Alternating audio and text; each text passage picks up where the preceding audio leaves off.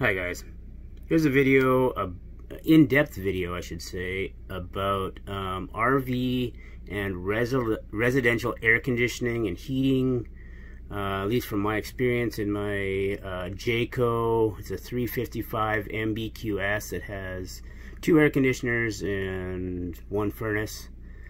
It's all ducted. Anyway, so I want to explain what I did. Uh, I changed my I haven't changed this one. This is this is the the master bedroom air conditioning, and I want to start with this one uh, to kind of explain the wiring that I found. I've never done any AC HVAC before, so all new to me. So that's why it's kind of starting at the beginning. So let's talk about this. Uh, so you got cool, fan, and off, and you got high, low. on your fan, you have auto, high, and low. Um, so the first difference I want to talk about with residential to RV is that uh, residential only has one fan control or one fan speed. Uh, RVs have two. So here I'm gonna pull this off. Uh, this is the I'm gonna start. This is this is a simpler one. Um, so we got red, yellow, gray, green, and blue. Um, kind of explain what each wire does. So red here is your 12 volt positive. Blue is your common or 12 volt negative. So it's kind of different than, you know, other electronics. I do a lot of electronic stuff. So it kind of threw me off where blue was ground or blue was negative. And then green when the green wire gets uh, 12 volts, that is your high speed fan. Gray is your low speed fan.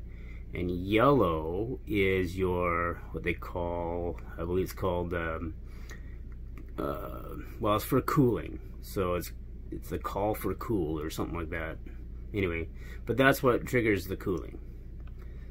And I'm going to stop it there. I want to show you, I'm going to go grab the Coleman uh, the one little bit, so that's the cooling part. Now I'm going to grab the other thermostat, which is the one that has heating.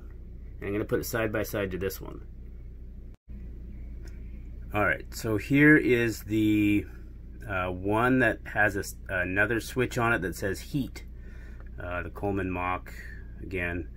So the only difference between this one here and this one here is, number one, you have heat, which means, give me a second here, you have one additional white wire, and that is your uh, heat, um, just call for heat.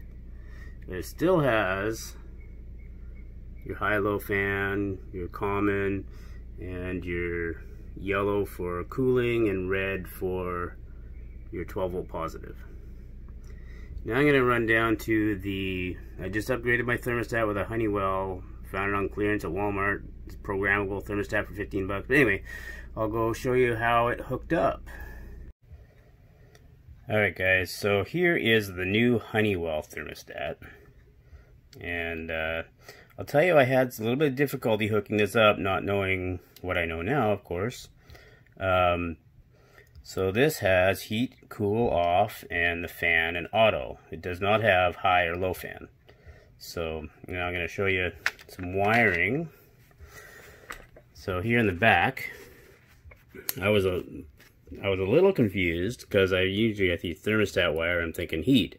But this brown wire right here with four conductors is actually your goes to your AC and then that big, thick, red, no, it's like a 12 gauge, or, yeah, it's, yeah, pretty sure it's 12 gauge. But anyway, that is, goes to your heater. And a little surprised at that because it doesn't need to be that thick, but that's what the manufacturer supplied. The extra screw hole there that somebody used to mount the old Coleman one. Anyway, let's go back to here. So, again, wiring color codes you know, G is green, that's your fan. Uh, that's your high fan. Low fan is actually this white wire. And the fan control only goes to the AC unit. There is no fan control for the heater. Uh, the it's marked uh, Y, which is yellow, which goes to the red wire on this one. Interesting pick, but I get I get it why, and I'll tell you in a minute. And then uh, I can get it to focus here. Uh, red, is your 12 volt, and your 12 volt power actually is I got it wire netted here just to make it better. I should have done it with the white negative there as well. So a big difference here. So the blue wire, which is you know in that spot right there, usually I would think that you need a common wire. But in the residential, if I hook up that blue wire to there and switch it to heat, I pop my 12 volt uh, or my yeah my 12 volt system 15 amp fuse down in the the breaker box down there found out the hard way so, disconnect the blue. And I found that online. So your blue to there just goes to your, this is actually your 12 volt ground uh, for your, that comes into this whole area that's got all this stuff. Anyway, so, but, uh, and then your positive, I should pull this out just to show you. Positive doesn't even terminate here for the for the uh, that's your that's your positive it just passes right through here so anyway but that is 12 volts that's 12 volts actually coming from your furnace and that white is your furnace wire. So there's only two wires for your furnace. And then the white wire here which is my low um, speed fan ignore it. Well you can act there is another modification you can make which is you put in a little toggle switch. So you could actually switch between high and low fan speed but I've never used the low fan speed so I just capped it off. I'm gonna shove it back in the wall um, and then the blue of course I kept that one. So there's one other little thing that you need to do here uh, with a residential uh, and that's shown on the back of this one and it's common for many but you see this little toggle switch that says gas or oil? Make sure it's on gas. You don't have one on electric or heat pump. And the reason why, the theory is, and it's a good, not really a theory, but the way it works is that the uh, residential electric heat, whether you're in heating or cooling mode, they share the same fan. If it's gas, it has its own fan built into the furnace. It doesn't, so you don't want to turn that fan control on when it's hooked to, um, because that one goes to your air conditioner. If you don't switch that switch, then when you have it in heat, it'll turn on your air conditioning fans. So there you go.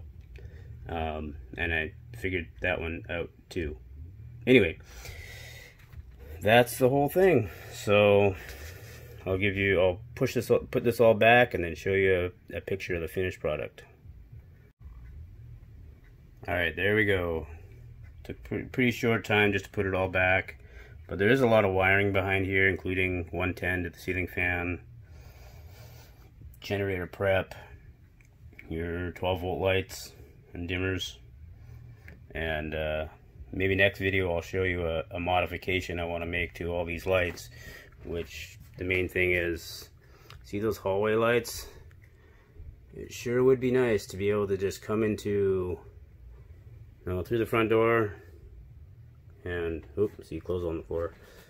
Come to the front door and have a switch here to turn on the hallway light and another switch there to, down by the the master bedroom there to turn off the hallway lights separate from you know all the lights controlled by this one dimmer. Anyway next video. Uh, that's it. Um, should I show you a cool uh, so, one other thing I want to mention. Inside here, there is a safety, it's called a compressor saver for your air conditioning, where it'll actually, it's got a timer inside that if you shut it off, your air conditioning off, and then turn it back on again real quick, uh, it will pause for five minutes before it will actually turn your compressor on. That might throw you, but you'll know it because this one and this one start flashing. And that's a setting, if you get the manual for this, you can actually turn that off inside the, the thermostat. So it can be a pain, but I don't know if it's worth turning it on for an RV or I, I don't know enough about it. So that's it. Thanks for watching. Bye.